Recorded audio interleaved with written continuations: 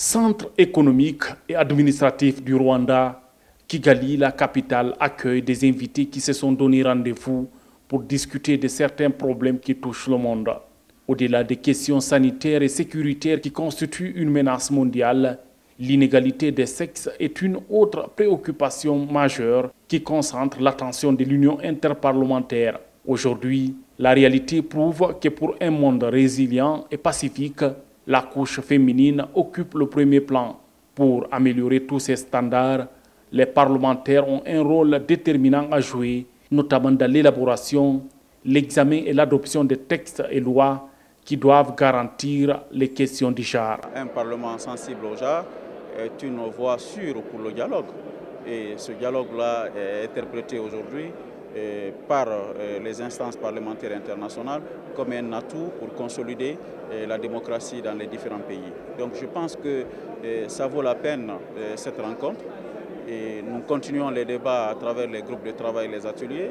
Ce qui est important, le démarrage s'annonce très bien et la problématique est unanimement partagée et tout le monde consent sur la nécessité d'accorder les violons pour faire de la place pour les femmes. En prenant part à cette rencontre mondiale, l'organe législatif de la transition guinéenne, à travers son président, conforte davantage son engagement en faveur de la promotion et la protection des droits de la femme. C'est ce combat que je mène au sein du Parlement de la transition en Guinée pour que les femmes soient à des positions euh, préférentielles qui les permettent d'influencer les décisions qui concernent la société.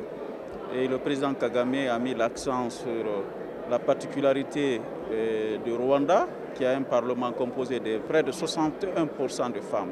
La question de la femme est une question qui est prise en compte dans la constitution rwandaise. Cette rencontre parlementaire internationale offre également l'opportunité aux représentants des pays comme la Guinée et le Mali qui sont en transition de présenter les réformes engagées mais aussi de nouer les contacts avec les institutions internationales. Pour moi, c'est fondamental.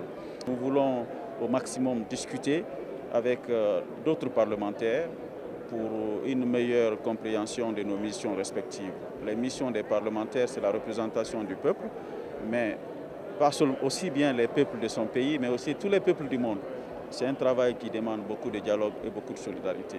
Mais nous voulons au maximum attirer l'attention de nos collègues parlementaires euh, pour que les images, les messages qui circulent sur nos pays, pour les montrer les vraies images, les vrais détails, les vraies explications pour que nous soyons compris. Cette compréhension est fondamentale pour marquer notre pleine participation dans ces instances sur le plan international. L'Union interparlementaire est l'organisation mondiale des parlements et la plus ancienne des institutions internationales à caractère intergouvernemental. Dans son discours d'ouverture, le président rwandais salue les efforts consentis par les parlementaires dans la promotion de l'intégration. Paul Kagame souhaite le renforcement de la synergie d'action avec les autres institutions.